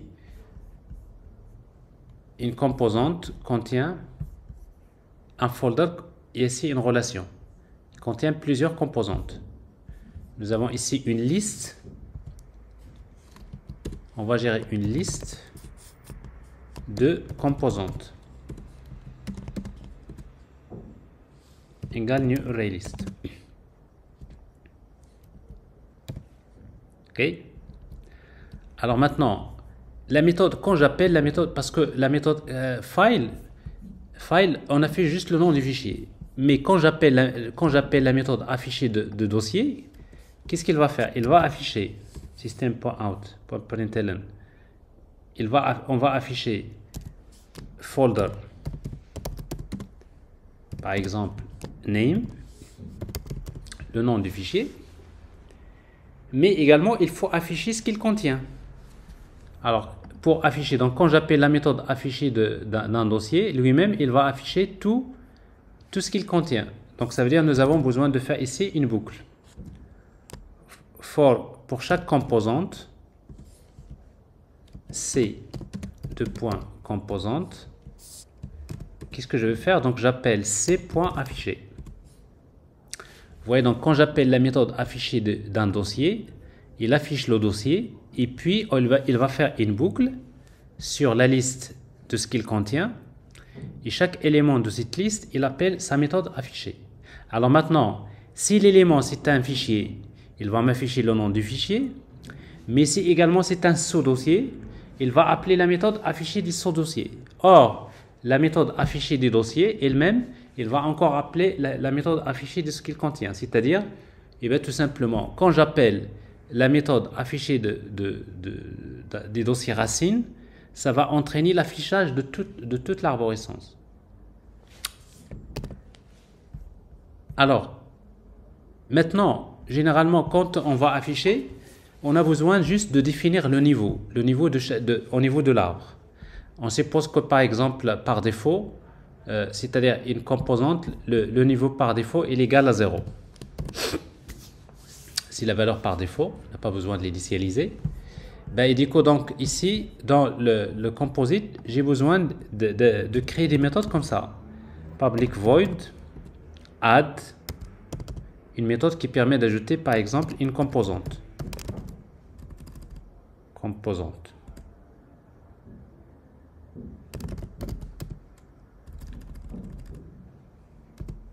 Add, composante, composante. Alors cette méthode add, qu'est-ce qu'il fait? Il fait tout simplement 10. Euh, composante.add C. La composante C.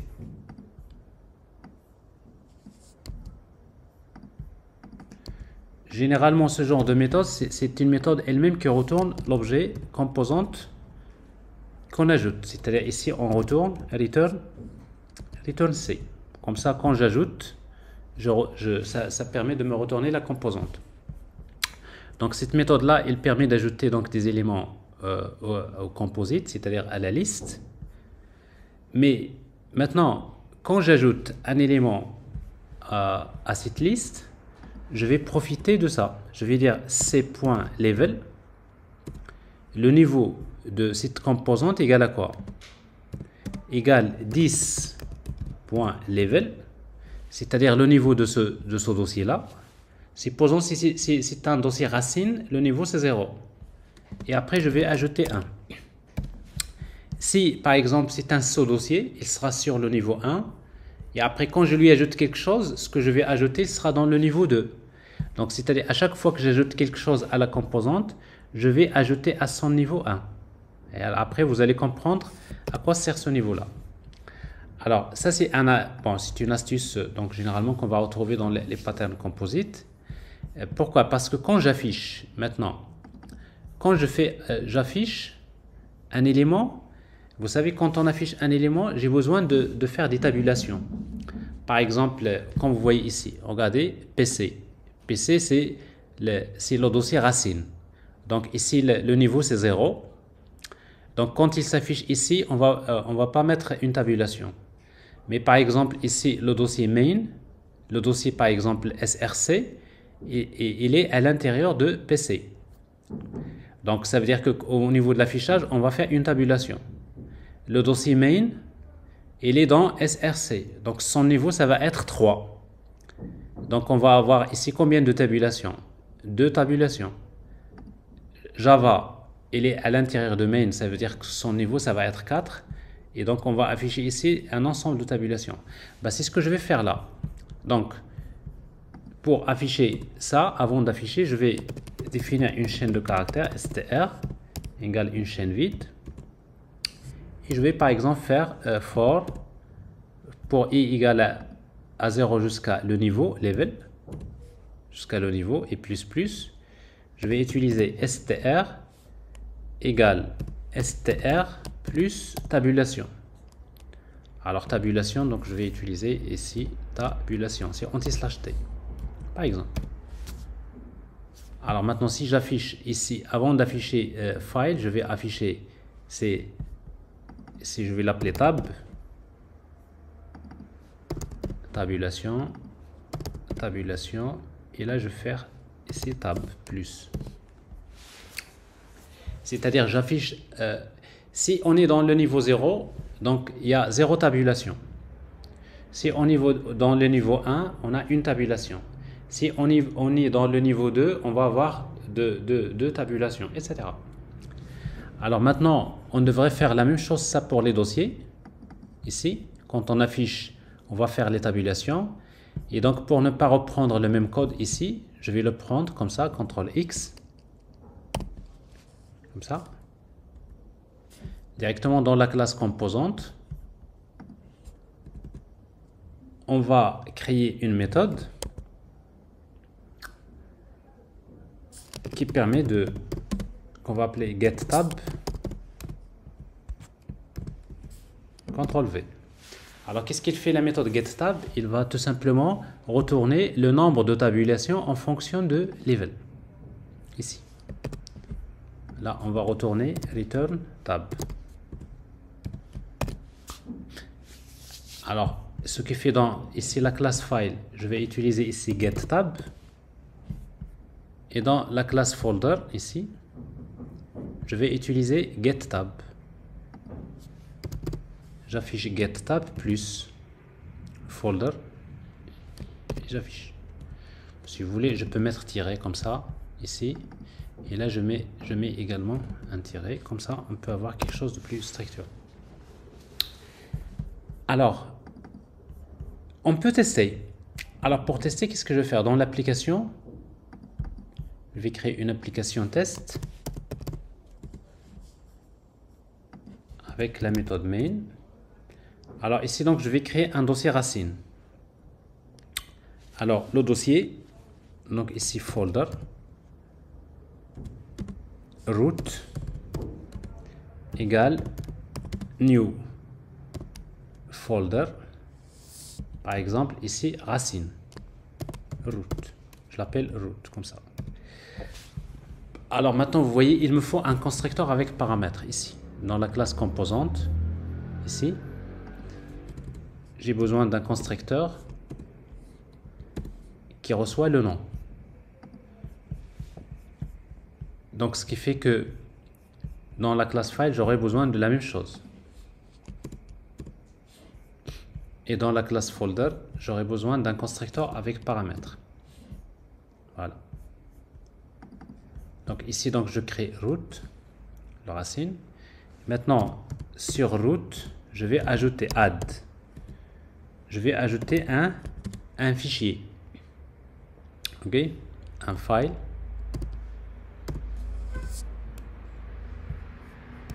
Par exemple, je vais l'appeler par exemple Java. Java.txt. Je vais utiliser root.add new new file. Je vais ajouter un autre fichier. Par exemple, que je vais appeler euh, par exemple pom.xml.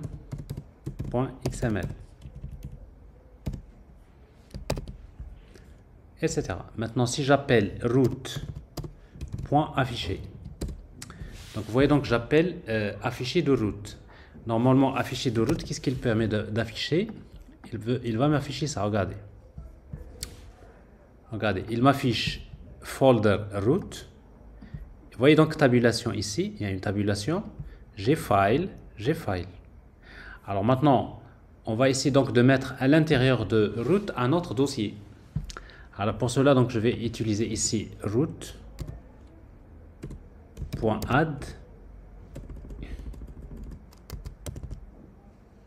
add new folder. Par exemple, je vais l'appeler src.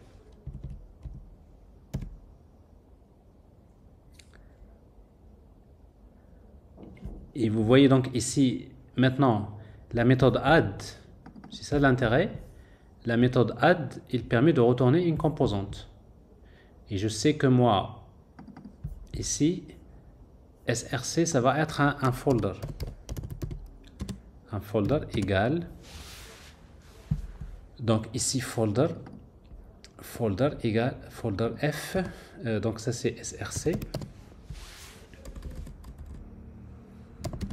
Src égale alors, sauf que ici, euh, en fait, la méthode add, il retourne un objet de type composante.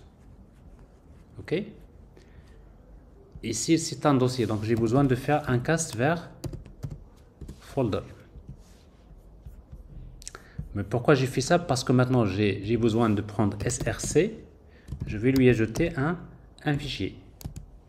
Par exemple, data data.csv c'est pas euh, CSV, c'est new file. New file de data.csv. src.add src.add new file de par exemple euh, config.txt config 2.txt. Alors si j'exécute l'application, qu'est-ce que je vais avoir? Regardez. Ça c'est intéressant. Pourquoi? Parce que je vois folder, c'est root. À l'intérieur de folder, qu'est-ce que j'ai? J'ai java.txt, ça c'est le niveau 1. J'ai pom.xml, niveau 1. Pourquoi niveau 1 Parce qu'ils ont été ajoutés directement à root. Alors après j'ai ajouté un folder ici SRC. Maintenant, à l'intérieur de SRC que j'ai ajouté, je vais lui ajouter data.csv. Vous voyez donc, maintenant, data.csv, c'est un file qui a été ajouté à l'intérieur de SRC. C'est un arbre.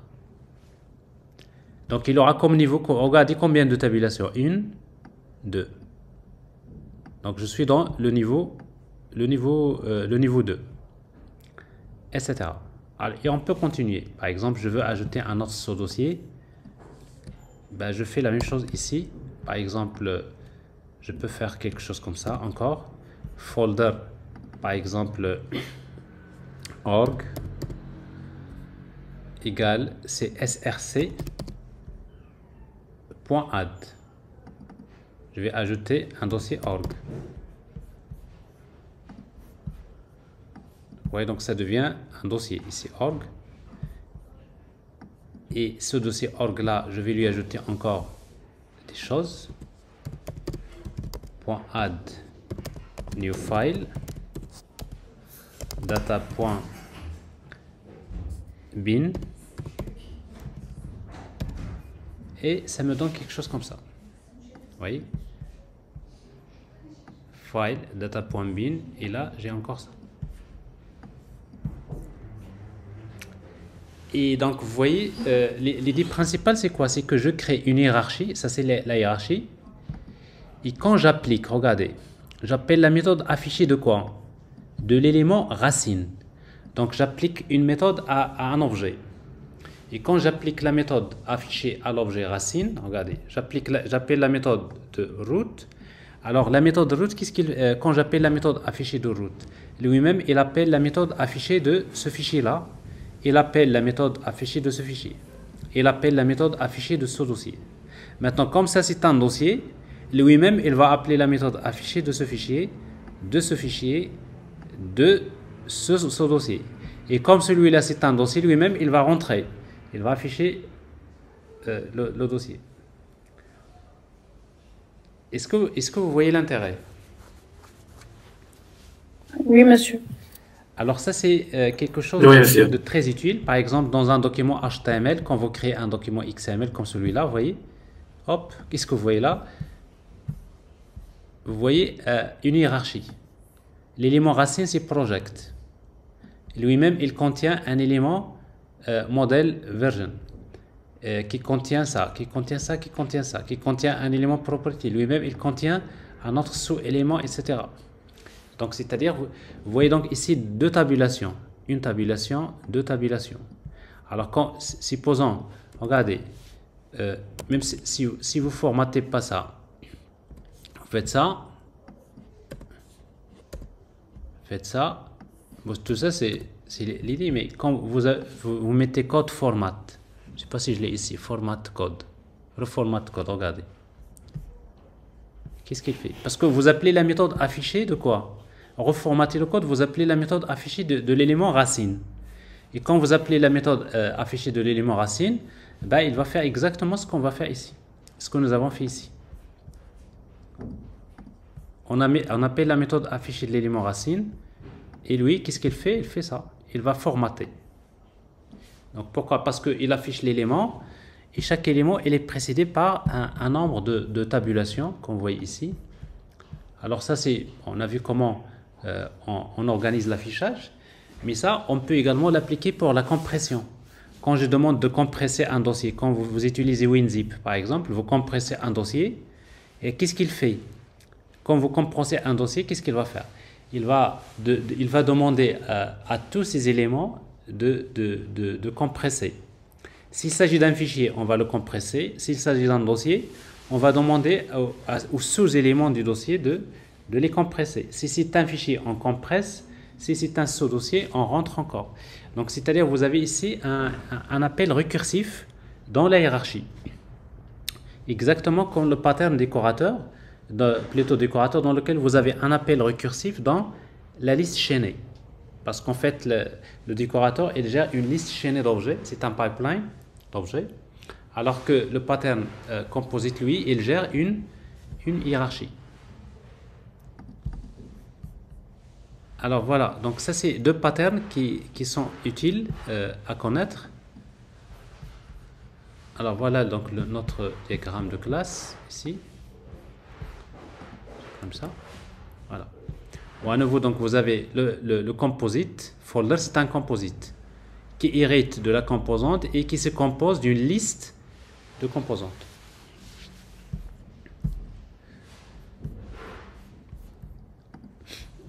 Voilà, alors ça c'est, je pense qu'on devrait s'arrêter à cela parce que sinon ça va être un peu plus compliqué pour vous. Donc ce que je vous demande c'est que euh, vous allez euh, travailler euh, donc ces deux design patterns donc vous regardez euh, le, support, vous regardez donc la démonstration que je viens de vous faire. Vous regardez aussi donc euh, les, ressources supplémentaires, parce qu'en fait il y, a, des vidéos peut-être dans lesquelles euh, il y a plus de, détails sur, sur ces patterns. Si les, ressources que, que, vous avez aujourd'hui ne sont pas suffisantes, vous regardez les autres, les autres vidéos que j'ai enregistrées dans quelques auparavant, parce que parfois il y a parfois, donc, je dessine des exemples avec. Euh, euh, bon, généralement, quand j'ai un peu la, tablette, j'essaie un petit peu de, de prendre beaucoup de temps à dessiner des choses. Aujourd'hui, ce n'est pas le cas. Euh, mais je pense que c'est suffisant euh, pour comprendre ces, ces deux design patterns.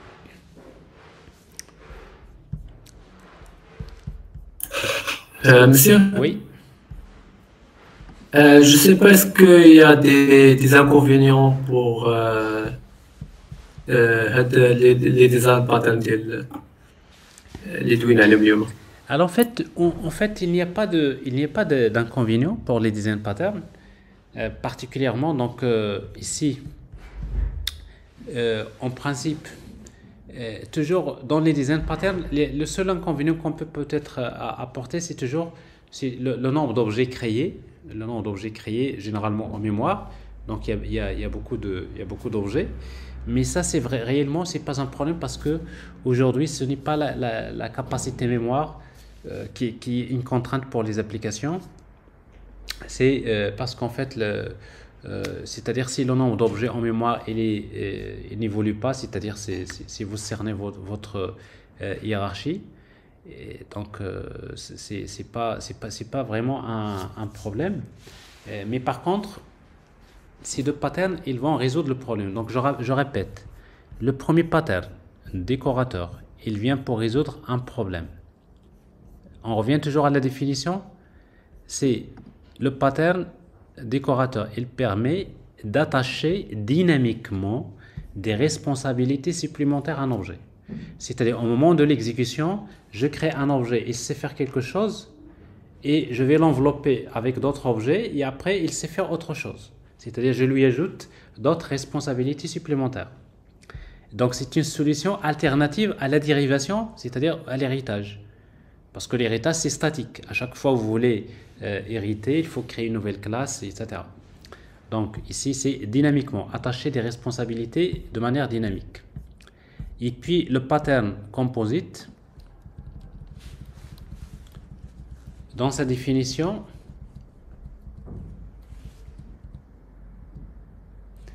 il permet d'organiser les objets euh, en structure arborescente, c'est-à-dire hiérarchique, afin de représenter une hiérarchie permettre à la partie cliente, regardez bien, à permettre à la partie cliente de manipuler un objet unique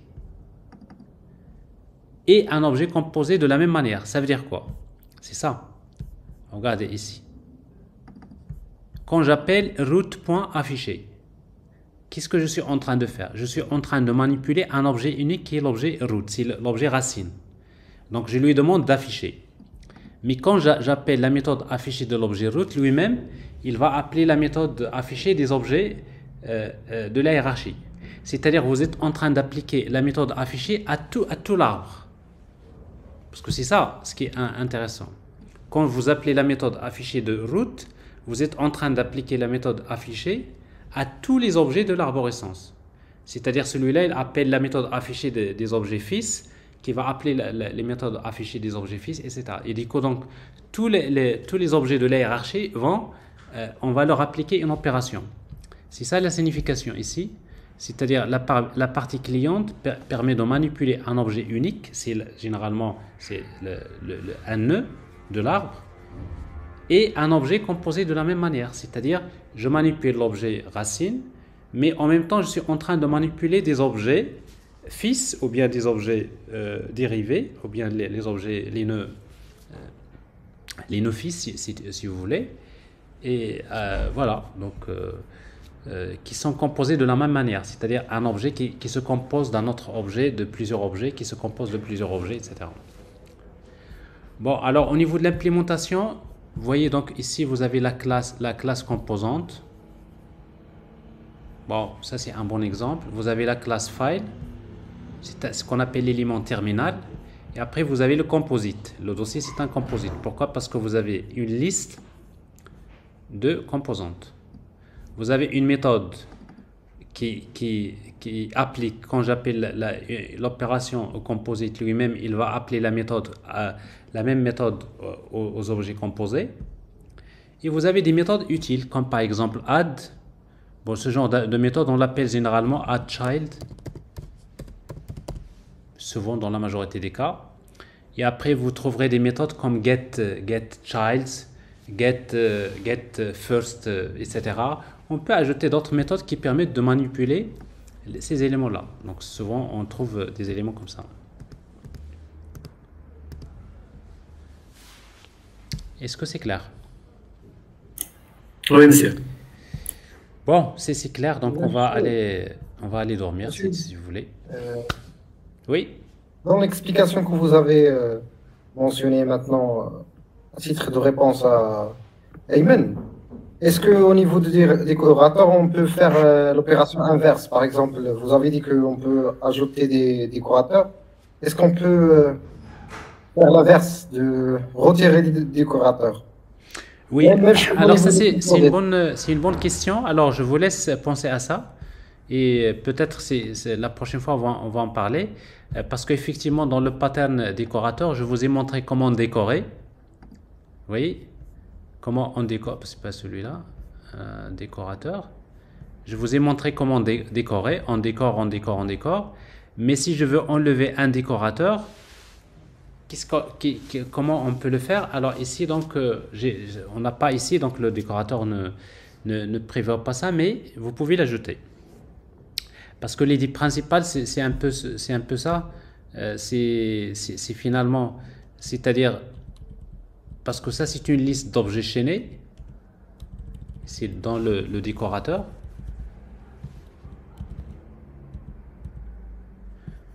Vous voyez donc ici, celui-là, il va pointer vers celui-là, qui pointe vers celui-là, qui pointe vers celui-là.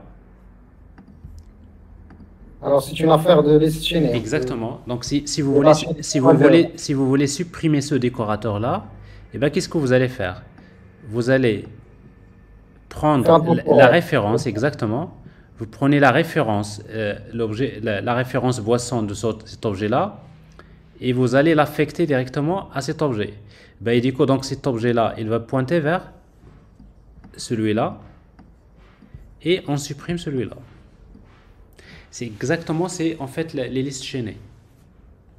Alors ici donc euh, c'est un bon exercice. Donc si vous voulez euh, faire un décorateur dans lequel vous pouvez insérer un élément euh, entre ces, éléments-là, mais ça c'est vraiment des exercices des listes chaînées. Même, même, question, monsieur, au niveau de composite, au niveau de la, la même chose, au niveau de composite. Le composite, c'est un peu, c'est un peu plus, plus, simple parce que ici, dans la, classe décorateur, dans, plutôt dans la classe euh, composite, ici, dans le folder, vous avez ici add. Add, vous allez créer des méthodes remove.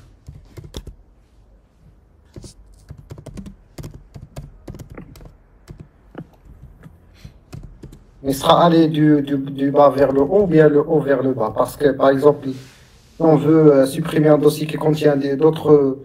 Généralement, si vous supprimez le dossier, vous allez supprimer toute la hiérarchie.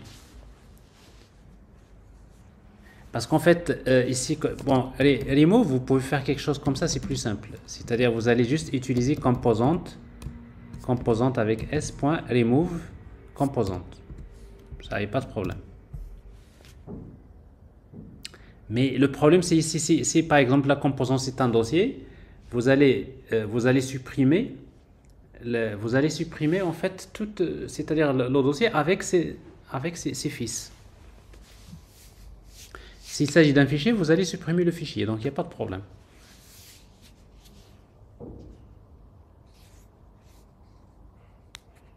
Ok, bien, si, monsieur. Mais c'est intéressant quand, quand vous faites l'implémentation, essayez de penser à ça donc c'est un bon exercice, vous l'ajoutez, vous faites ça.